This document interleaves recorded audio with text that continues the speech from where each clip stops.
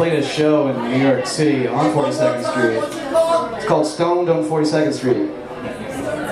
Like 42nd Street, New York City. So I did this show called Ziegfeld's Midnight Frolic, right? I'm sorry, what? What key are you in? Oh, what key are we in? I'm, hang on, let me figure it out. I never know.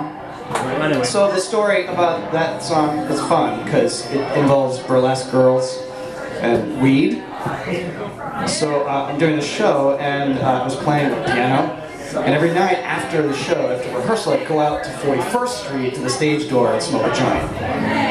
But somehow, all the smoke went into the theater. Right? So the first night I went out there, 20 showgirls come walking out, right, still dressed in their, you know, not much. And they're all like, who's our new friends? But every single night after the show, me and a bunch of showgirls and showboys got high on, it It's on 41st Street, which isn't really like, 42nd Street. Yeah, yeah, yeah. It sounds cool. That's where it's at. 40 seconds. That's where 42nd it's at. Street, yeah. You did that on purpose. I like showgirls and burlesque. Oh, Dolly Debutante, she was the first one. I used to work at a burlesque club. I did. I don't know any of their real names, that's the funny thing. We've been friends for years. Better that way. Oh no, it's good. Yeah, I don't want to know their names. Dolly and Pearls Daly. Uh, Delicia, what was it? Delicia Lachey. Felicia? No, no, no, no. Delicia, Delicia. Delicia Lachey, which means delicious pussy in French. Nice.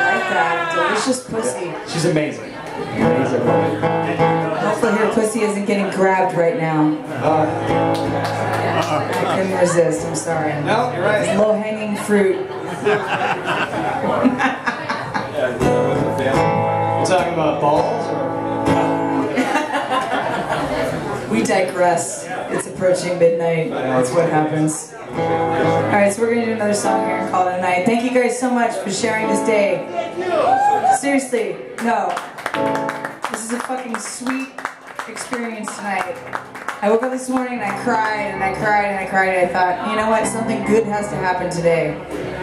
Something good has to happen, and it did. Some friends came together and played some music, hung out, drank some beers, and communed with each other. And to me, that's the best fucking weapon ever against bullshit. So, my guitar's